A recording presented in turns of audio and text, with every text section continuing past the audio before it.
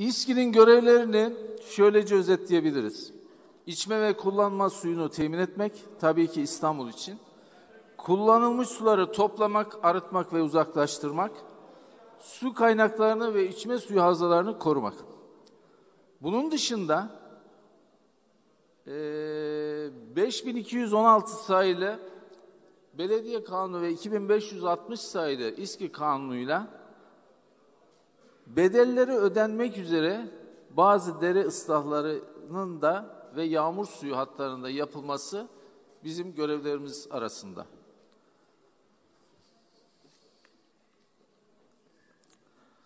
Abone sayımız İdari yapılanma olarak bir genel müdür, beş genel müdür yardımcısı, beş yönetim kurulu üyesi, 20 daire başkanı ve 104 şube müdüründen müteşekkiriz. 6 milyon 645 bin hali hazırda abonemiz var. Ortalama günde 3 milyon metreküp su veriyoruz. Atık su arıtma tesislerimizin kapasitesi 4 milyon 352 bin. Su şebekesinin uzunluğu 23 bin kilometre, atık su şebekesinin uzunluğu da 17.700 kilometre. Memur, işçi ve e, şirket elemanlarından oluşan İSKİ kadrosu 12.568 kişi bugün itibariyle. Araç ve iş makinalarımızın durumuna gelirsek, e, resmi araçlarımızın sayısı 2020 yılı itibariyle 196, kiralık araçlarımızın sayısı 750, iş makinalarımız 48, dorse römork 10, toplam 1004 araçla hizmet veriyoruz. Bu 750 kiralık aracın zaman zaman soruluyor. 145 adedi binek araç, 605 adedi de hizmet aracıdır. Son 28 yılda barajların doluluk oranlarına 28 Mayıs itibariyle baktığımız zaman e, geçen yıla göre 2020 yılına göre yüzde dokuzluk bir artımız var. Yüzde dokuz daha e, dolu barajlarımız. Geçen yıl 67.09'du biliyorsunuz. Bu yıl 76.03 değerindeyiz. Son 17 yılda şehre verilen su miktarları dikkat ederseniz bir artış gösteriyor. Bu tabii nüfusla ilgili olduğunu düşünüyoruz. Ee, geçen yıl 1 milyar 61 milyon su metreküp su vermişken bu yıl e, pardon önceki yıl 1 milyar 61 milyon, geçen yıl 1 milyar 74 milyon metreküp su verdik. İstanbul'un son 18 yıllık yağış miktarları da milimetre bazında görüyorsunuz değişiklikler gösteriyor. Kayıp kaçak oranlarımız 22.31'den yüzde 2019'da 22.31 iken 2020 yılında 20.68 olmuştur. Yani burada iyi bir noktadayız. Bununla ilgili çalışmalarımız devam ediyor. Daha da iyi noktalara geleceğiz kayıp kaçak konusunda. Hedefimiz yüzde 15. Yani Avrupa ve gelişmiş ülkelerdeki oran yüzde 15'i yakalamak.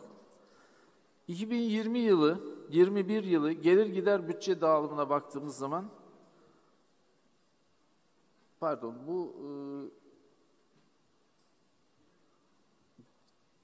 su gelirleri e, alt, evet 2021 yılı 6 milyar 289 milyon, İller Bankası payları 780 milyon, diğer gelirlerimiz 285 milyon, toplam 7 milyar 354 milyon bir gelir hesaplıyoruz. Buna karşılık gider dağılımı yatırım giderleri yani e, yatırımlara harcadığımız payar 3 milyar 900 milyon civarında mal ve hizmet alımları 2,5 milyar, personel giderleri 1 milyar 66 milyon, diğer giderlerimiz 506 milyon toplamda 7 milyar 959 milyonluk bir gider tahmin ediyoruz. Burada da gördüğünüz gibi yaklaşık 600 milyonluk bir açığımız söz konusu.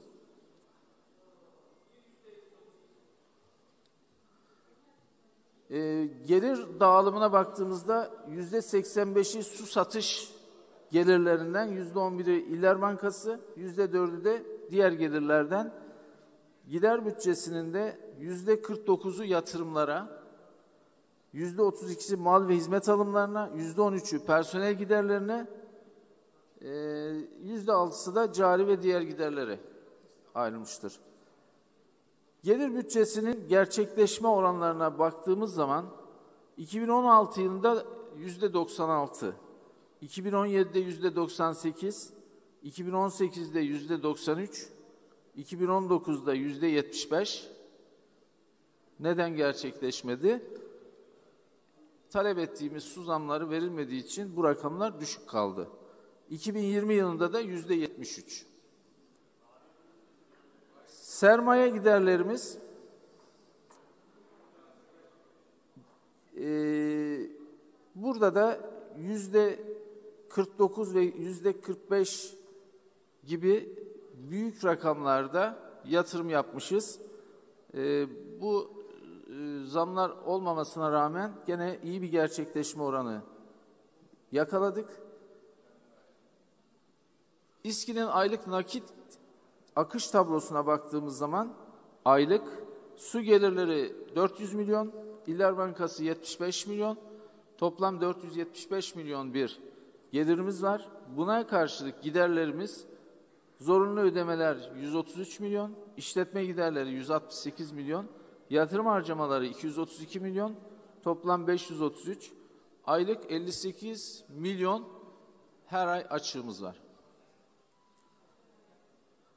Su satış geliri gerçekleşmeleri burada da 2018'de gördüğünüz gibi 5,5 milyarlık bir gerçekleşme var. Ama bu 2019 ve 2020 yıllarında düşmüştür.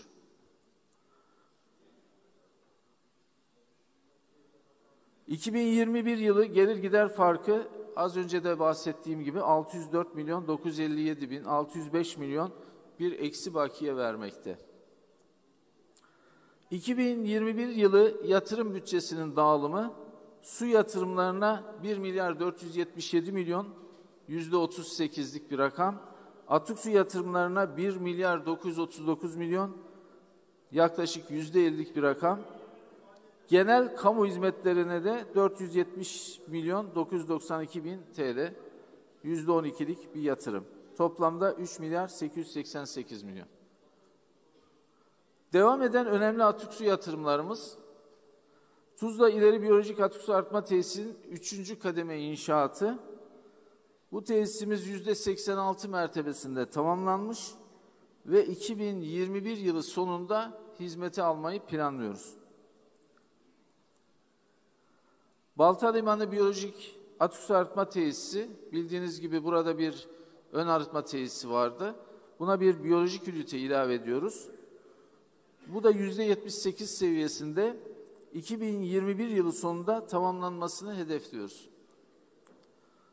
Ayvalıdere Yağmur Suyu Tüneli, bunun amacı Bayrampaşa, Esenler, Fatih, Güngören ve Zeytinburnu ilçelerinde her yağmur sonrası meydana gelen su taşkınlarını önlemek. 3000 mm çapında ve 4652 metre uzunluğundaki yağmur suyu tünelinin kazısı ve ikinci kaplamasının 1900 metrelik kısmı tamamlanmıştır. 2752 metrelik kısmında çalışmalar devam etmektedir. 2021 yılı Kasım ayında işletmeye almayı planlıyoruz. Bu Ayvalı Dere yağmur suyu neden önemli? Şu bakımdan bu tesisi, bu tüneli tamamladığımız zaman Bayrampaşa ilçesinde otogar hal bağlantı yolunda Terazidere metro durağında, Bayrampaşa Otogar içi ve Davutpaşa kavşağında e, yağmur yağması sonucu ortaya çıkan sel baskınları önlenmiş olacak. Esenler ilçesinde İstanbul Caddesi, Fatih ilçesinde Vatan Caddesi, Aksaray Alt Geçidi, Aksaray Meydan, Aksaray Metro İstasyonu, Yenikapı Metro İstasyonu ve Namık Kemal Caddesi ve TCD'de alt geçidi. Güngören ilçesinde de Merter E5 metro durağı ve çevresiyle Zeytinburnu ilçesinde Zeytinburnu tramvay durağı ve çevresi su taşkınlarından kurtarılacak. Bölgedeki halkımız, esnafımız rahata kavuşmuş olacak. Yani bu tünel 1, 2, 3, 4, 5 tane ilçenin yağmur suyu sorununu çözecek bir tünel.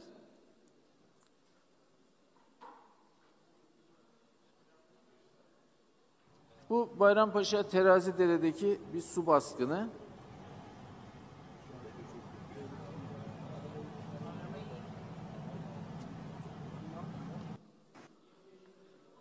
Bayrampaşa gene Terazi Dere'de. Yeni Kapı metro istasyonu.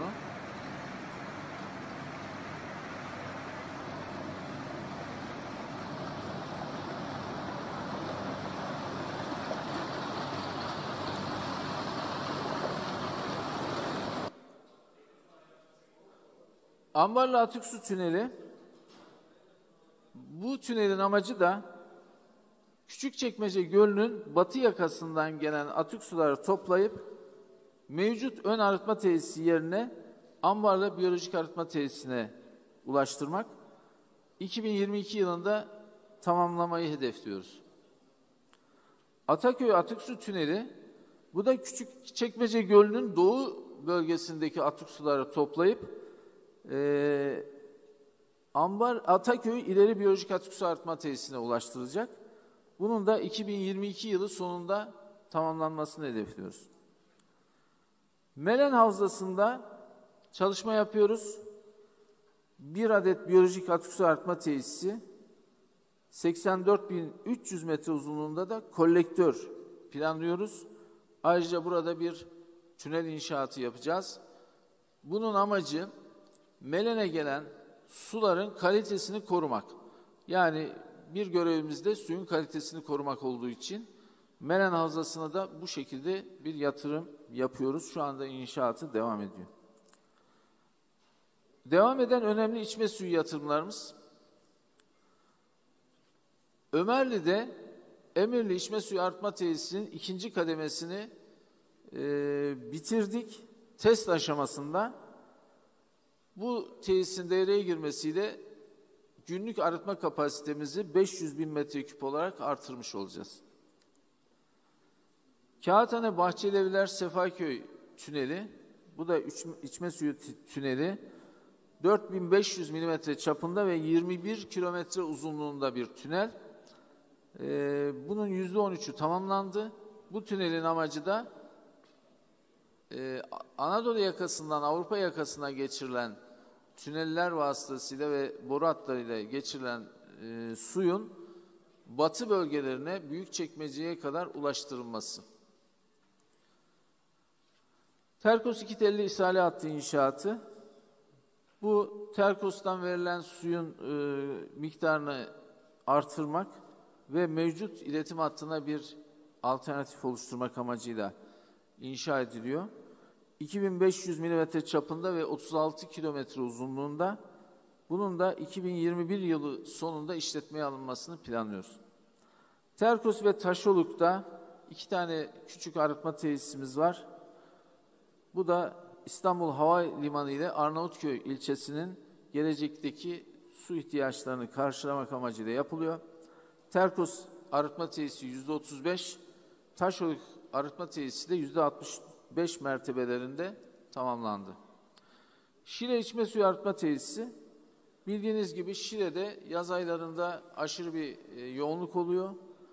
Buradaki e, artan su talebini karşılamak amacıyla 20 bin metreküplük bir arıtma tesisi membran olarak planladık. Bunun inşaatı devam ediyor. Yüzde 71 mertebesinde tamamlandı. 2021 yılı sonunda hizmete alacağız. Devam eden hizmet binalarımız burada Çatalca'da bir e, şube müdürlüğü planlıyoruz. Bu inşaatı devam ediyor. Bu da 2021 yılı sonunda hizmete alınmış olacak. İstanbul'un kritik noktalarında gerçekleştirilen altyapı çalışmaları, İstanbul'un özellikle su baskını yaşanan 104 noktasında çalışmalarımız 60 noktasında tamamlandı. 44 noktada çalışmalarımız devam ediyor. Bunların da bu yıl sonu itibariyle tamamlanmasını hedefliyoruz. Bunlar nedir? İşte Fatih Kumkapı alt geçidi, Zeytinburnu 10. Yıl Deresi, Beyoğlu Meclisi Mebusan Caddesi, Bayrampaşa Manastır Caddesi, Topkapı alt geçidi, Bakırköy İncirli Caddesi. Ee, bunun dışında da birçok bitirdiğimiz işte Ortaköy, e, Beşiktaş, Kartal, e, At, e, Bakırköy gibi bölgelerde de çalışmalarımız tamamlandı. Üsküdar Kuzguncuk sahil kolektörünü yeniledik. Kadıköy Hızır Bey Caddesi, Üsküdar Ahmediye Meydanı, Tuzla Birlik OSB ve Ümraniye Küçük Su Caddesi. Bunu böyle bazı meclis üyelerimiz tabii detaylı görmek isteyebilir düşüncesiyle bu 104 noktada e, yaptığımız çalışmaların bir kısmı bitti, bir kısmı devam ediyor. Bunu tablo halinde sunduk. Yani Bakırköy'de özellikle bu İstanbul Caddesi'nde önemli bir sıkıntı vardı. Buradan atık su doğrudan denize karışıyordu. Buradaki çalışmalarımızı tamamladık ve atık suyu topluyoruz şu anda. Ayamama Deresi'nde çalışmalarımız devam ediyor. Diğer e, yeşille gözüken yerlerdeki çalışmalarımız bitti.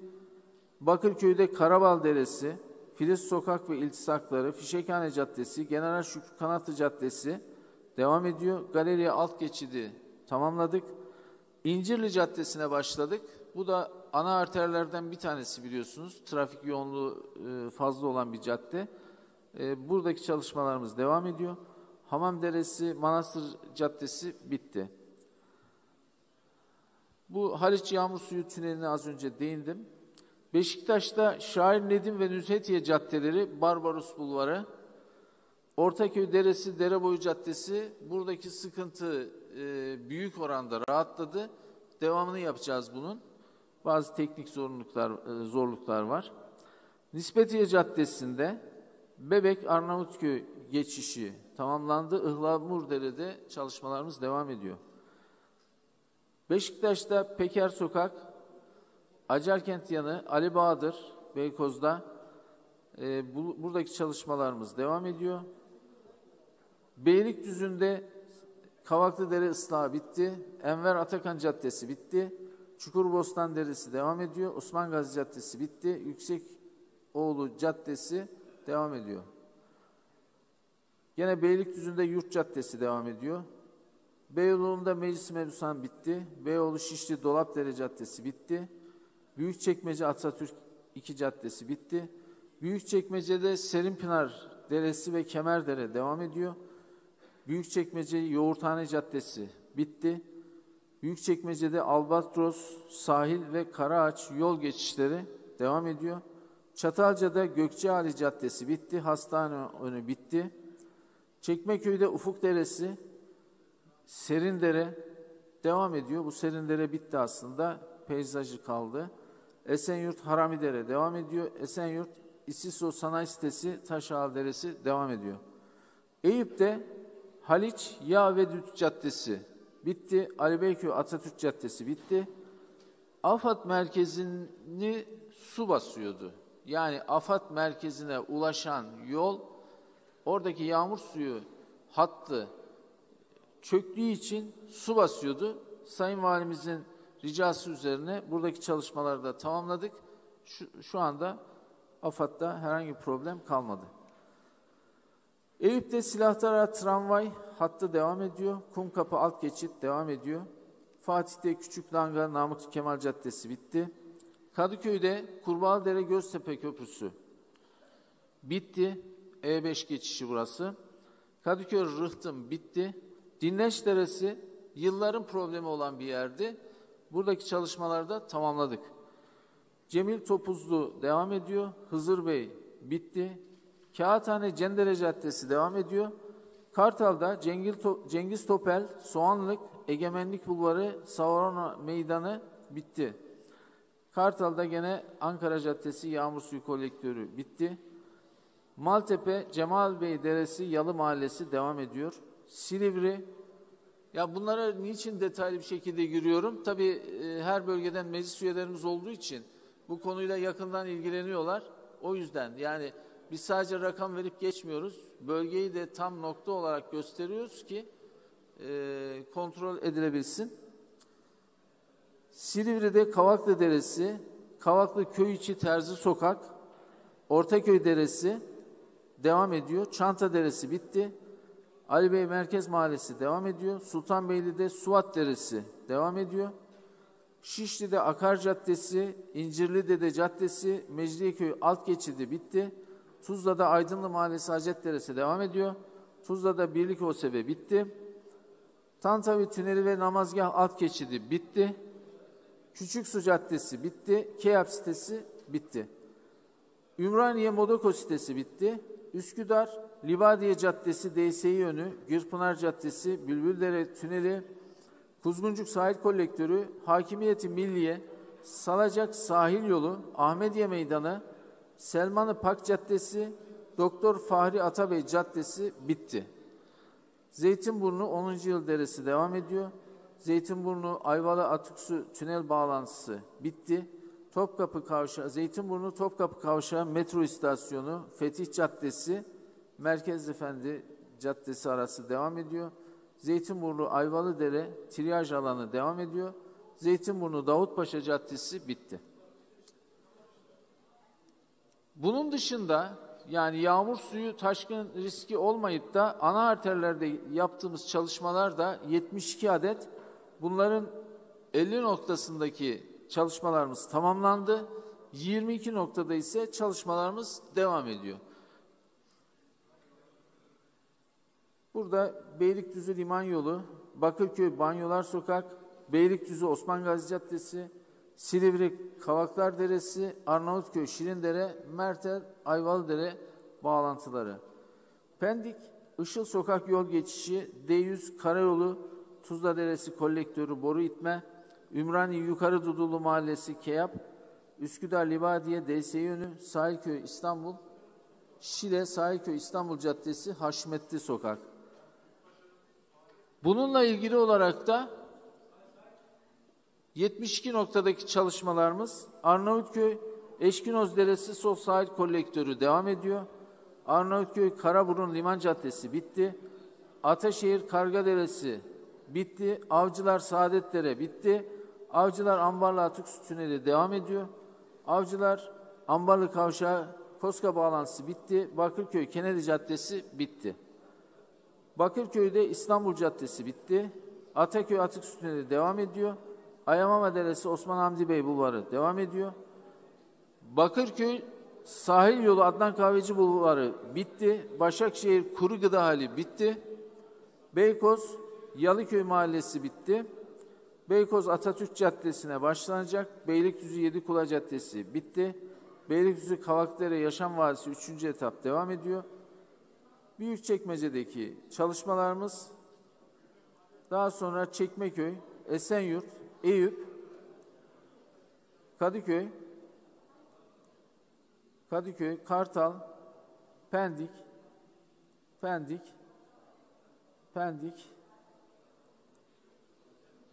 Sancaktepe, Sarıgazi Mahallesi devam ediyor. Sarıyer, Balta Limanı Arıtma Deşarj Hattı bitti. Sarıyer, Çayırbaşı Caddesi zor bir iş. Bu devam ediyor. Silivri Gümüşyaka sahil devam ediyor. Silivri Ali Bey Mahallesi devam ediyor. Hepsini okumayayım. Ekrana yansıtayım böyle.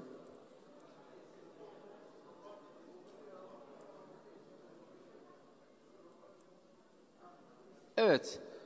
Bu yaptığımız çalışmalar devam eden ve bitirdiğimiz çalışmalar. Dereleri ıslah ediyoruz.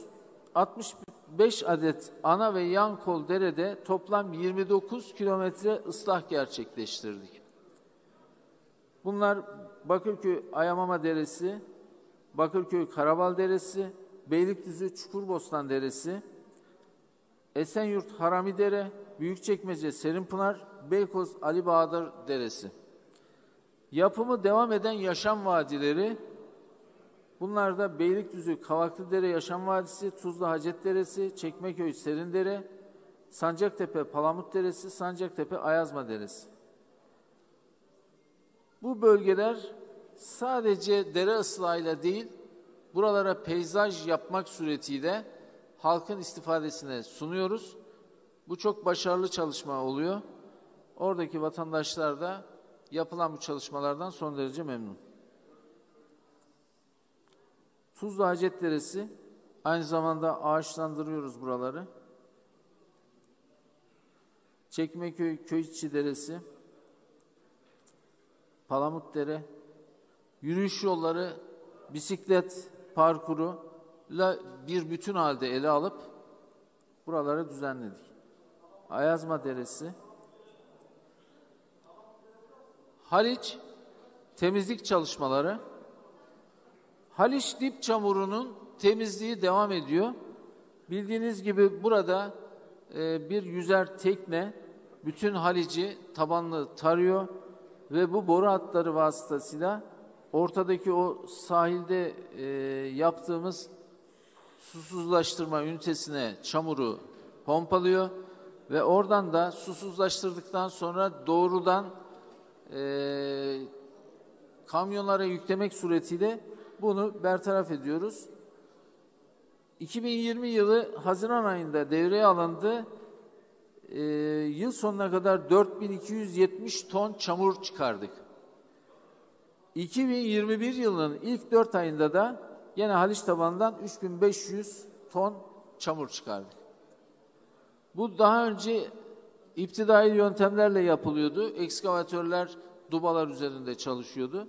Şu anda tekne radarlı Haliç'in neresinde yükselti var, çamur ne kadar yüksekte bunları görerek o yükseltileri üzerinden gitmek suretiyle buradaki çamuru alıp pompalıyor.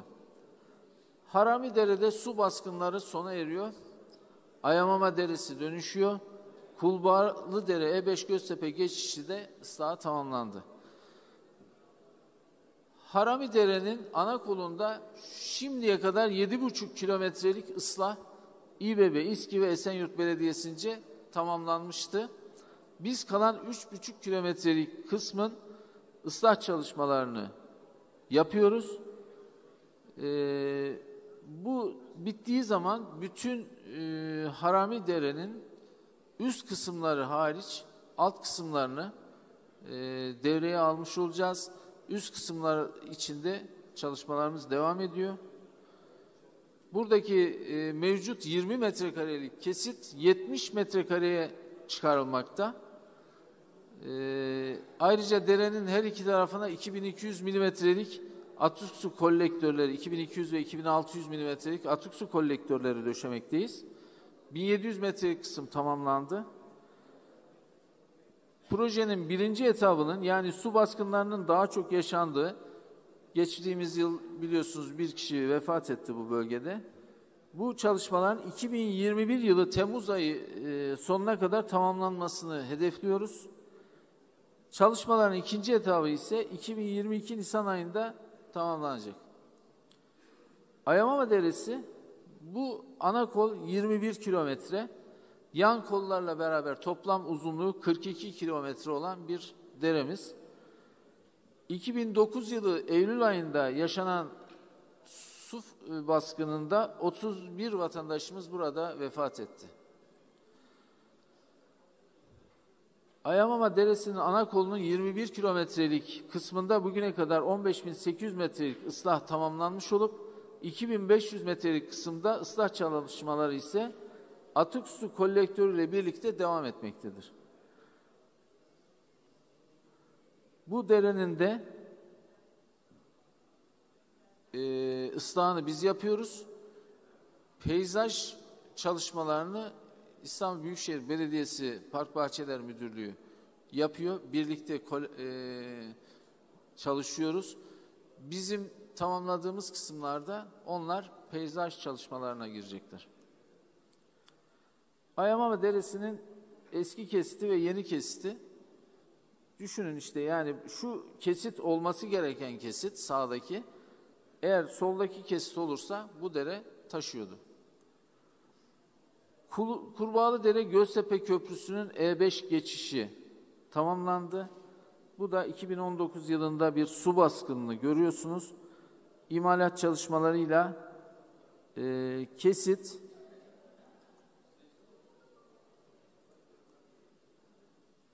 kesit bu şekilde artırılmış oldu. E, bu çok önemli bir projeydi. E, E5'i su basıyordu. Şu anda çok şükür oradaki çalışmalarımız tamamlandı. Herhangi bir risk yok. Tarihi su kemerleri ve çeşmelerdeki restorasyonları da yapıyoruz. Bu tarihi çeşmeler ve su kemerlerinde hem restorasyon yapıp hem de suyunu akıtıyoruz. Yani geçmişte e, bu çeşmelerden kaynak suları akmaktaydı. Ancak bu çeşmeler şu anda yerleşim yerleri içerisinde kaldığı için kaynak suları riskli. Bu nedenle biz buralara şebeke suyu bağlıyoruz ve burada halkın istifadesine sunuyoruz. Burada Fatih'te 300'lü çeşme, Sarıyer Bayram Kaptan Çeşmesi, Üsküdar 3. Ahmet Çeşmesi'ni restoranını devam ediyoruz.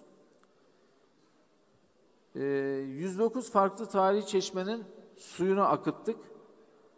Ee, 40 tarihi çeşmenin de restorasyon işlerini için ihale yaptık. Ee, ayrıca 41 farklı tarihi çeşme için proje çalışmalarımız devam ediyor. Ayrıca tarihi su kemerlerimizden olan Bozdoğan, Eğri Kemer ve Uzun Kemer'de de restoran, restorasyon çalışmalarımız devam ediyor. Bu e, Bozdoğan Kemeri Saraçhane'de biliyorsunuz. Bu zaman içerisinde dökülmelere başladı. Üstten taşlar düşüp trafiği de riske atıyordu. Buradaki çalışmalarımız sağ sahilde bitti. Şu anda ortadaki ve sol taraftaki çalışmalara başlayacağız. Uzun kemer ve kovuk kemerdeki çalışmalarımız da devam ediyor. Kanalizasyon ve dere temizlik çalışmalarımız 2020 yılında 129, 129 adet derede 246 kilometrelik dere temizliği yapılarak toplam 531 bin metreküp telesubat çıkarılmıştır. 2021 yılının ilk 4 ayında ise 64 farklı derede toplam 66 kilometrelik dere temizliği yapılmış ve 252 bin metreküp telesubat çıkarılmıştır. Bunu bizim e, İSKİ'nin uzun bomlu araçlarıyla yapıyoruz. Kendi personelimizle sadece bir yakıt masrafıyla bu dereleri temizliyoruz. Silivri Boğuluca dere temizliği, Büyükçekmece Güven Güvercinlik dere temizliği, Beykoz Çubuklu Deresi kapalı kesit temizliği, Harami Dere'de temizlik, Riva Deresi Bozhane Köyü'nde iş makinalarımız devam ediyor. Bildiğiniz bunu gibi buranın temizliğini geçen yıl yapmıştık. Ancak bu derede e, eğim normal bir şekilde verilmediği için yani bir ıslah işi yapılmadığı için bazı bölgelerde çamur birikmesi oluyor ve bunu biz temizlemek zorunda kalıyoruz. Bu görev dağılımı içerisinde aslında bu derenin ıslahı devlet su işleri yükümlülüğüne verilmiş. Ancak buradaki istimlak tutarları nedeniyle devlet su işleri buranın istimlak işine, e, dere ıslahına yanaşmıyor. Dolayısıyla biz oradaki vatandaşın mağdur olmaması için zorunlu olarak kendi iş makinalarımızla burayı temizliyoruz.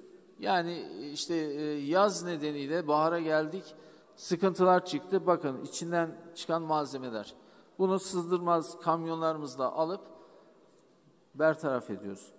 Ayamama Deresi'nde gene her iki tarafta uzun bomlu e, araçlarımızla derenin dibini temizliyoruz. Sarıyer İstinye Deresi buradan da zaman zaman e, şikayetler geliyor, koku şikayetleri. Bu bölgeyi de temizleyip yıkamak suretiyle e, sıkıntıları giderdik. Silivri Tuzla Deresi buradaki çalışmaları da Sayın Başkan bizden rica etmişti. Burada da çalışmalarımızı önemli bir miktarda tamamladık. Halen devam ediyor. Havza koruma çalışmalarına gelince bildiğiniz gibi e, suyun kalitesini korumak da bizim görevlerimizin arasında. Bu nedenle havzada kaçak yapıları yıkıyoruz. 2020 yılında 158 adet, 2020 yılının ilk 4 ayında ise 35 yapının yıkımı gerçekleştirildi. Yıl sonuna kadar 250 yapının daha yıkımını gerçekleştireceğiz. İşte sol tarafta bir villa, sağ tarafta enkazı, sol tarafta gene bir bina. Bu konuda kararlıyız. Yani oradaki vatandaş da biliyor zaten bizim bunu e, sonunda yıkacağımızı. Ama ne kadar süre oturursam kardır düşüncesiyle buralara boşuna masraf ediyorlar. Ağaçlandırma çalışmalarımız da bu arada havzada devam ediyor. 2020 yılında su havzalarımızın 450 bin metrekarelik mutlak koruma alanında 18 bin adet ağaç dikmek suretiyle ağaçlandırdık. 2020 yılının ilk 4 ayında da 1 milyon 196 bin metrekarelik alanda 61 bin 600 e, adet ağaç dikimi yapılmıştır. Yıl sonuna kadar 1 milyon 800 bin, 20 e, bin metrekare alanda 72 bin 700 adet daha ağaç dikimini gerçekleştireceğiz. Bu ağaçlar özel seçilmiş havzaya uygun ve belirli bir e, şeyi olan planlı bir şekilde yapıyoruz. Master plan çalışmalarımız İstanbul'un 2053 yılı ihtiyaçlarını e, göz önünde bulundurarak hem içme suyu hem atık su e, bir master plan çalışması devam ediyor. E, ayrıca İSKİ altyapısının deprem güvenli hale getirilmesi bu ilk defa yapılan bir şey İSKİ'de. Ee, Sayın Profesör Doktor Naci Görür tarafından yapılan bir çalışma. Avrupa bölgesindeki atık su hatlarında sağ olsun bir çalışma yaptı. Bir kitapçık bize verdi. Bu kitapçık hazır bir şey. Eğer e, biz yapabilirsek bunu biz yapacağız ya da bizden sonraki kişiler. Ama elimizde bir el kitabı var. Deprem anında nerelerde, hangi boru hatlarında kaç tane kırık var? Şu an kırık olacak biliyoruz biz bunu. Bununla beraber arıtma tesislerinin e, deprem güvenliğini araştırıyoruz. Barajların deprem güvenliğini çalışıyoruz. Bununla ilgili gerekli tedbirleri de alacağız.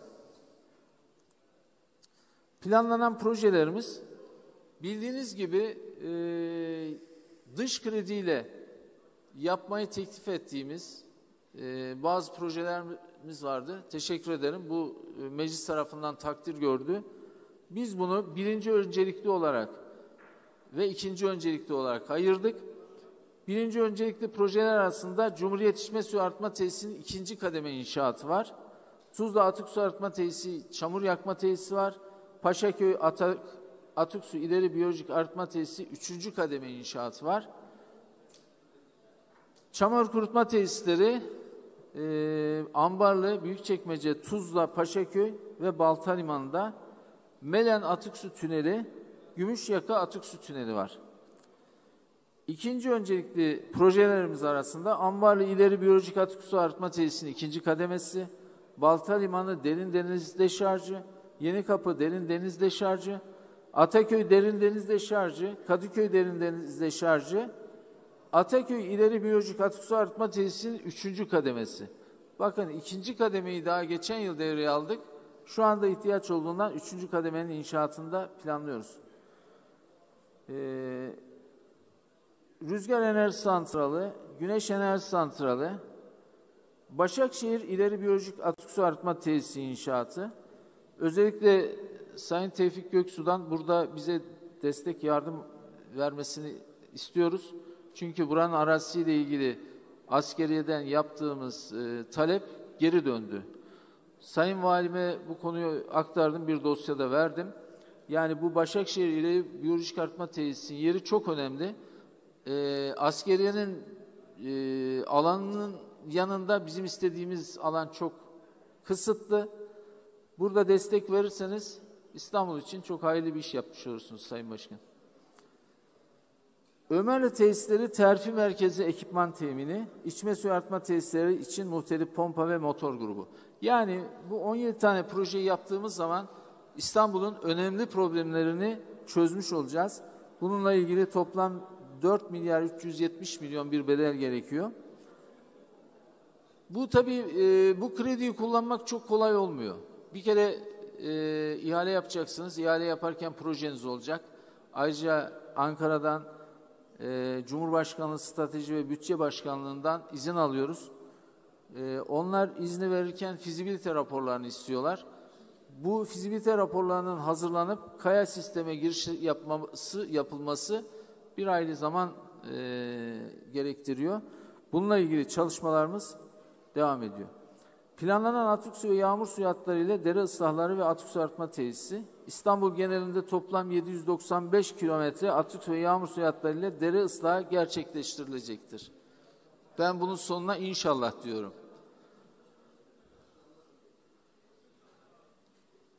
Planlanan atık su ve yağmur suyu e, dere ıslahlarını gene Sayın Meclis üyelerimizin e, özel ilgilendikleri konular olduğu için Büyükçekmece ve Beylikdüzü'nde 100 kilometre atık su ve yağmur suyu inşaatı yapacağız.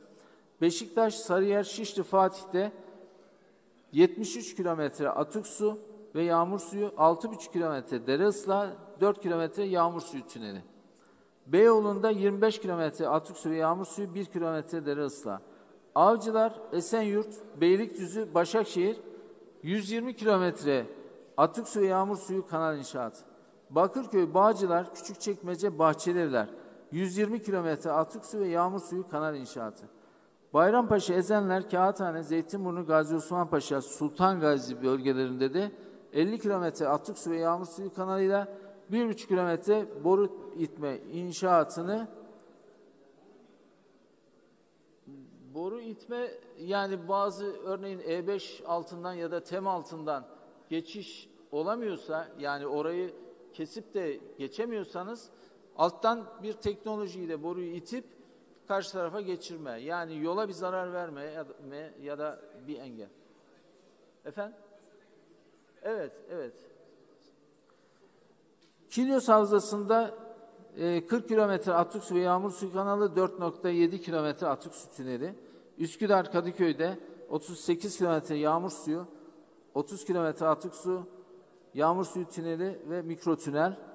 Ataşehir, Beykoz, Çekmeköy, Sancaktepe, Sultanbeyli, Ümraniye bölgesinde 30 kilometre yağmur suyu, 25 kilometre atık su, 8 kilometre dere ıslağı, Pendik, Tuzla, Kartal, Maltepe'de 30 kilometre yağmur suyu, 45 kilometre atık su, 3,5 kilometre dere ıslağı.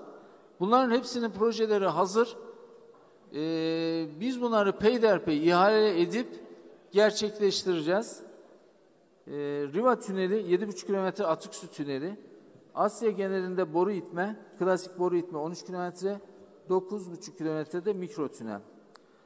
Planlanan atık su yağmur suyu tünellerine gelirsek Harami Dere'de e, bir atık su tüneli, Samatya'da yağmur suyu tüneli, Un Kapanı'nda yağmur suyu tüneli, Bebek'te yağmur suyu tüneli, Beşiktaş'ta yağmur suyu tüneli, Kilyos'ta atık su tüneli, Zekeriya Kör'de atık su tüneli, Gümüşyaka'da atık su tüneli, Dinleç Deresi yağmur suyu tüneli, Düzce arıtılmış atık su tüneli, Riva arıtılmış atık su tüneli, Riva atık su tüneli iki çaptan oluşuyor.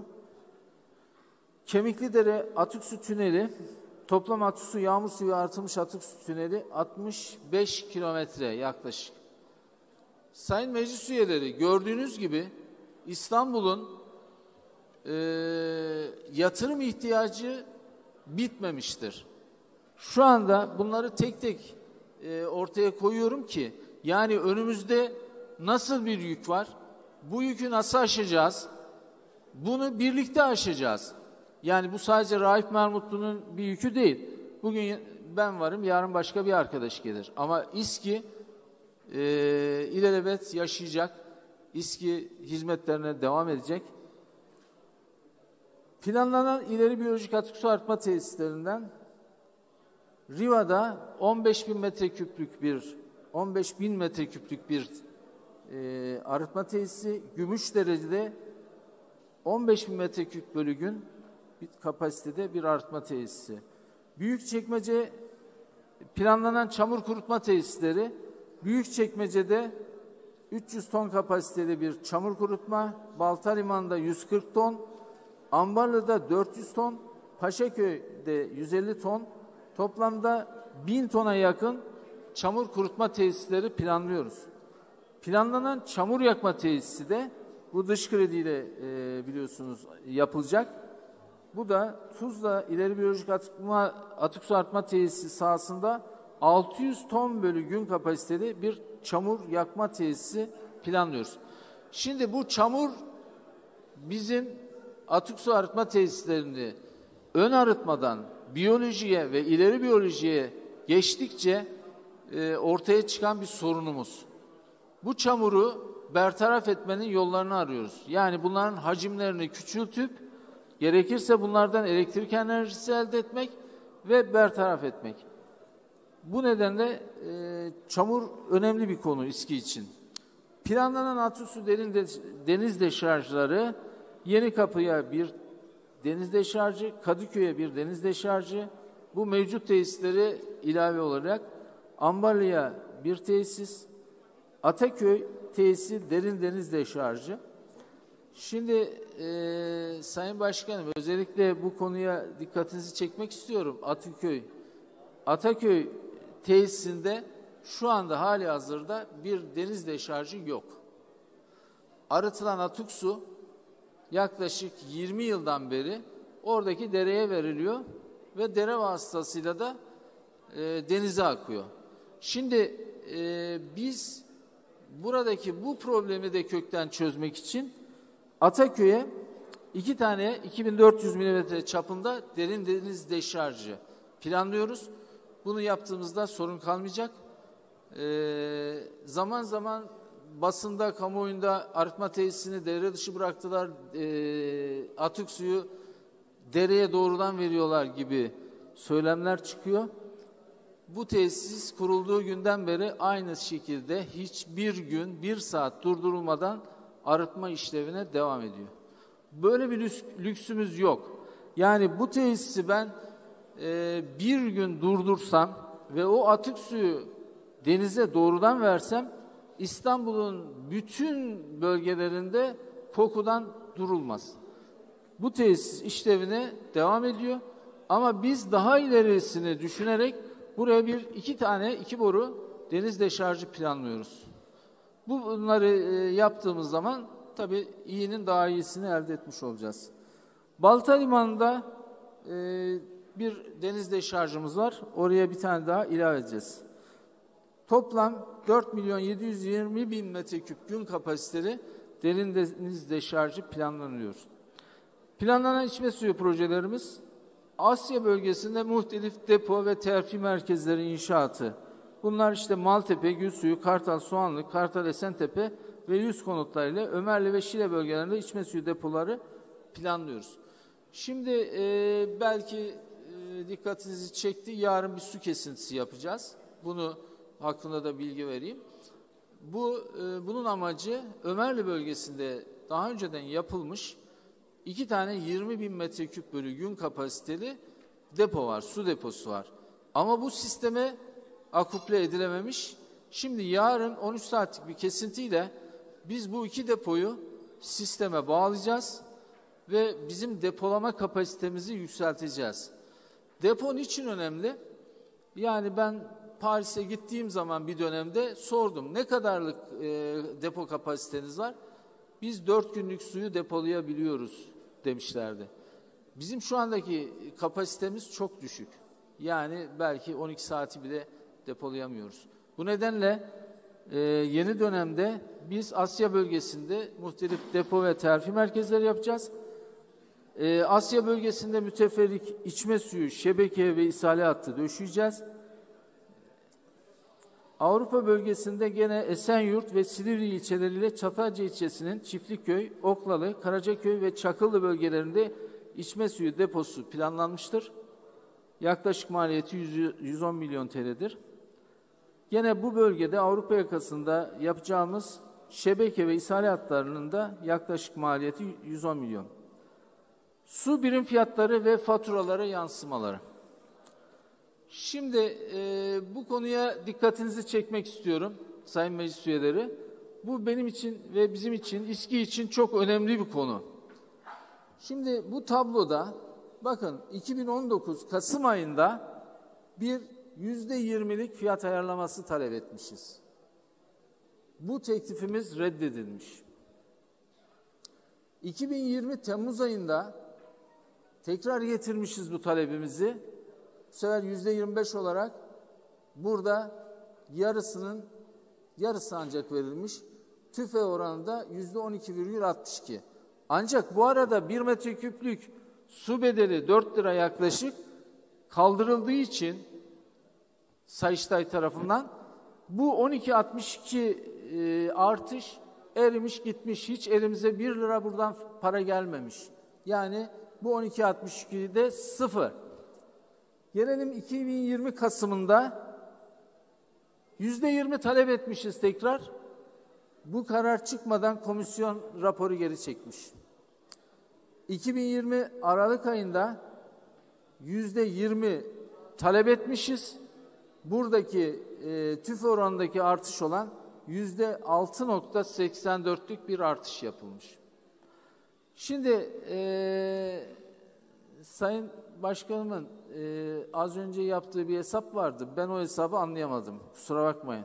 Onu ben geleceğim sizden bir soracağım. 18 liraya nasıl çıkıyor? Şu zamlarla suyun birim fiyatı 18 liraya nasıl çıkıyor? Bana izah etmeniz lazım. Çünkü taleplerimiz burada, karşılananlar burada. Şu anda biz 2021 Mayıs'ında yüzde 25'lik bir talepte bulunduk. Bunu niye bulunduk? Yani suya zam yapmak hiç kimsenin hoşuna gidecek bir durum değil. Biz de istemiyoruz. Ama bizim girdilerimiz artmazsa biz bunu zaten talep etmeyiz. Girdilerimiz artıyor. Nasıl artıyor? Ha şimdi şöyle bir mukayese yaptık. Dört kişilik bir ailenin faturalarını hesap ettik. Elektriği, bir aylık elektrik ücreti 183 TL. Üç aşağı beş yukarı. Doğalgaz kış aylarında 350-400 lira, yaz aylarında 20 ile 30 Türk lirası arasında. İnternet masrafı e, işte şeyini de yazmış arkadaşlar 75 ila 150 lira. Cep telefonu 4 kişinin her birinde bir cep telefonu var. 30 lira en düşüğünü koymuş arkadaşlar. Bunun maliyeti 120 Türk lirası ve su 10 metreküp. Zavallı su 38 lira. Şimdi pandemi döneminde su biliyorsunuz 19.50'lere e, düşmüştü bizim rezervlerimiz. Gündemin bir numarasına oturdu. Aman susuz kalacak mıyız? Aman su kesilecek mi? Aman su kesilirse hijyeni nasıl sağlayacağız? Pandemiyle nasıl başa çıkacağız? Su bir numaraya yükseldi. Ama suya reva görülen fiyat 38 lira. Siz de çek edebilirsiniz. Evinizdeki bütün faturaları kontrol edin. En düşüğünün e, su faturası olduğunu bakın yani 120 lira cep telefonu 40 lira dersek üçte biri. Ki biz bu suyu 350 kilometreden getiriyoruz. 5-6 tane terfi yapıyoruz. Kimyasal madde harcıyoruz. Personel giderleri, elektrik giderleri. Bunlara karşılığında aldığımız para 38 lira. Şimdi bir de şöyle bir hesap yaptık. Bizim şu anda uyguladığımız e, 3.85 Türk liralık birim fiyat 2014 yılı Mart ayına tekabül ediyor. Yani 3.85'i 2014 Mart ayında alıyormuşuz. Ondan sonra tüfe oranında artışlar, arada zamlar böyle bir rakamlar çıkıyordu. Şimdi biz dedik ki 2014 ile 2021 yılı arasında işçi kullanıyoruz değil mi? İşçimiz var. İşçi maaşı ne kadar artmış? 2.20 kat, 2.20 kat. Yani biz işçilik maaşını 2.20 kat artırmışız. Elektrik ücreti ne kadar artmış? 0.28 Türk lirasından kilowatt saati 0.62'ye çıkmış 2.20 kat. Alüminyum sülfat bu ham maddesi dışarıdan geldiği için asit dövize bağlı bir e, şey ve biz bundan her gün 100 ton civarında kullanmak zorundayız. Aksi halde arıtma yapamayız.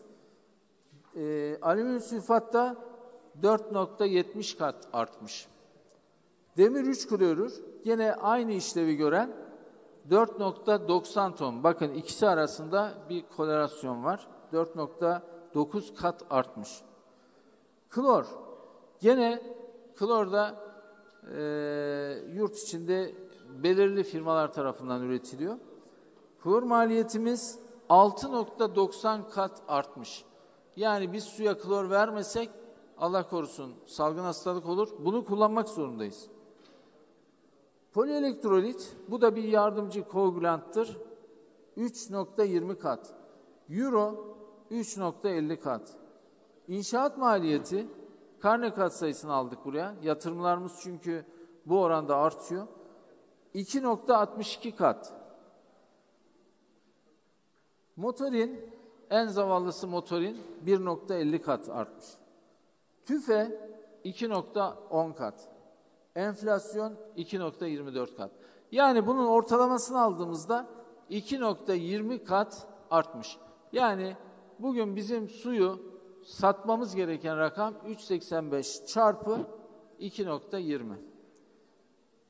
Bir de e, bu indirimle bağlantılı olarak 2018 faturası ve 2021 faturasını mukayese ettik. Gördüğünüz gibi 5 metreküpte yüzde 38'lik bir indirim, 10 metreküpte yüzde 32'lik bir indirim, 15 metreküpte yüzde 40'lık bir indirim, 20 metreküpte yüzde 35'lik bir indirim yapmışız. Şimdi bunu e, az önce Tarık Bey gösterdi. Grafik haline getirdiğimiz zaman şu e, 2014 Aralık'ta e, aralığı çıkış noktası alarak e, TÜFE'deki artışlarla bugün 2021'de 8.87 olması gerekiyordu. Biz kaça satıyoruz? 3.85. Yani hani demiş ya Halep buradaysa arşın, Halep oradaysa arşın burada. Efendim? Tamam, çok güzel düzelttiniz başkanım. Teşekkür ederim. Şimdi 2000, e, biz bu grafiği neye göre yazdık? 2019 Mayıs Genel Kurulu'nda aylık uygulanan tüfe artışı kaldırılmıştır. Bu meclis kaldırdı. Yani e, saygım var buna. 2020 yılı Ağustos ayından itibaren aylık 1 metreküp su bedeline tekabül eden bakım bedeli Sayıştay görüşü doğrultusunda kaldırılmıştır. 2019 Mayıs ayından itibaren her 2,5 metreküp su kullanan konut abonesinin 0,5 metreküpü insani su kullanım hakkı olarak ücretsiz verilmeye başlanmıştır. Böylelikle 2021 yılında uygulanan birinci kademe konut su satış tarifesi aslında 4.81 TL değil, yani o siyahla gösterilen 4.81 TL değil, 3.85 TL'dir. 2014 yılında 4.3 TL olan 2014 yılında 4.3 TL olan tarife eğer 2021 Ocak ayına tüfe oranında eskale edilseydi bugün su birim fiyatı 8.87 TL olacaktı. Hali hazırda uygulanan 3.85 TL tarifesi 2014 Mart ayı tarifesine tekabül etmektedir. Bakın buraya dikkatinizi çekmek istiyorum. Hali hazırda uygulanan 3.85 TL tarifesi 2014 Mart ayı. Yani 7 yıl önceki fiyatlarla biz şu anda su satıyoruz. 2021 yılı Ocak ayındaki tarifenin tüfe artışındaki tarifeye göre e, net indirim oranı yani 8.56 eksi 3.85 bölü 8.56 yüzde 55'tir. 2014-2021 yıllar arasındaki enflasyon oranı yüzde 124'tür. 2014-2021 yıllar arasında su fiyatları enflasyon oranında artılmış olsaydı bugün su birim fiyatı 8.62 TL olacaktı. Şimdi dikkat ettiğinize göre 8.56, 8.62 hep 8.5 lira civarında. Eğer 2014 yılı su birim fiyatları önceden olduğu gibi tüfe oranında artırmış olsaydı bugün su birim fiyatı 8.10 TL olacaktı. Eğer 2014 yılı su birim fiyatları enflasyon oranında artırmış olsaydı bugün 8.62 TL olacaktı suyun tarifesi. Hali hazırda konut bir kademe tarifesi 4.81 TL olup yeni birim fiyat teklifimiz 6 TL idi. Şimdi bir başka hesap daha ben burada e, yapmak istiyorum. Dikkatinize sunmak için.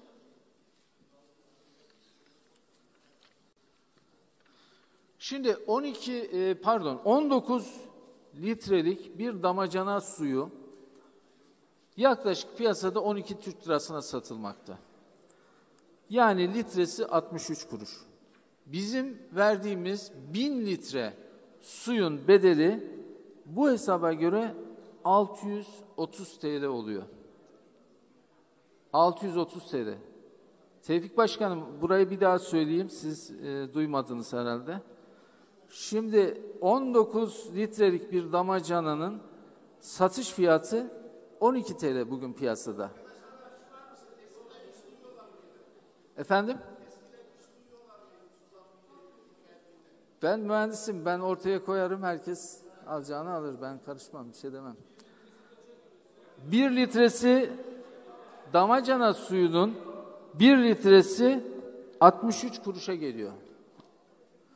63 kuruşu binle çarptığınız zaman bugün bir metreküp suyu 630 liraya satmamız lazım. Yani damacana suyuyla mukayese ettiğimizde. Sayın Sayın Başkanım korkmayın öyle bir rakam istemedik yani ben aradaki farkı ortaya koymak için söylüyorum. Bizim sattığımız fiyat 3.85 TL. Şimdi e, Sayın Başkanıma bir gönül kırıklığımı iletmem gerekiyor. Az önce yaptığınız hesaplarda şu kadar yüzde elli zam, şurada şu, şu topladınız. Hani ortada olmayan bir zam. Ve 18 metre, e, Türk lirası buldunuz fiyatı. Bunu bana bir anlatmanızı istedim. Ve sonunda da eğer biz buna yeni bir yöntem getirirsek böyle absürt zamlar bir daha getirmezsiniz dedi. Bu lafınıza gücendim. Onu açık söyleyeyim. Bizim zammımız absürt değil. Bizim zammımız gerekli bir zam. Bu kadar yatırımlar, yapılması gereken yatırımlar eğer yapılmazsa İstanbul halkının gelecekte ihtiyaçları, su ve atık su ihtiyaçları karşılanamayacak. Ben bunu söylemekle yükümlüyüm. Dolayısıyla zaten oylama yapıldı geçti. Keşke söz hakkı bana daha önceden verilmiş olsaydı. Ben bu rakamları ortaya koysaydım inanıyorum ki zam mı verecektiniz?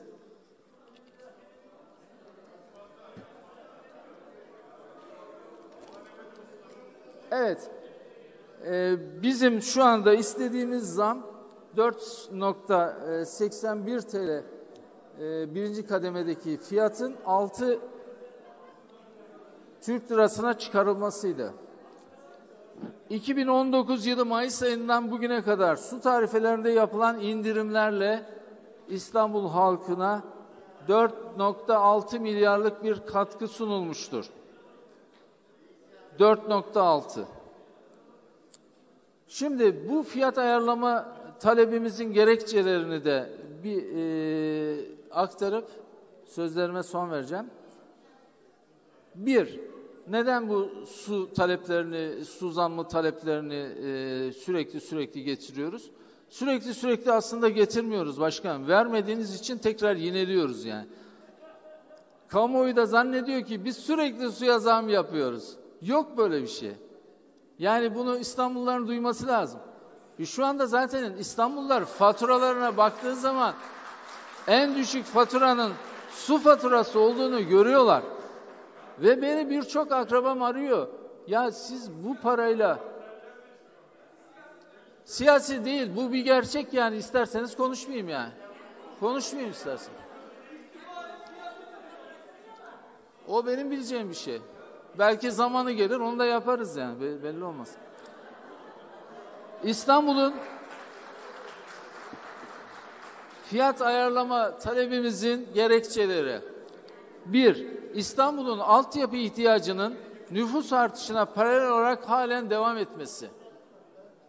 Yatırım talepleri halen devam ediyor İstanbul'un.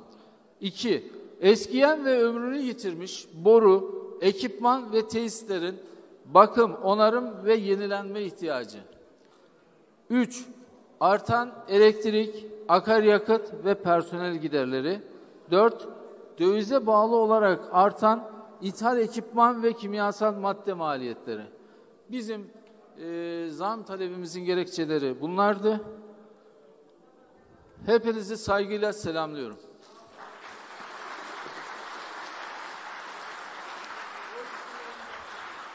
Evet, Sayın İSİ Genel Müdürümüze konuşmalarından ötürü ben teşekkür ediyorum.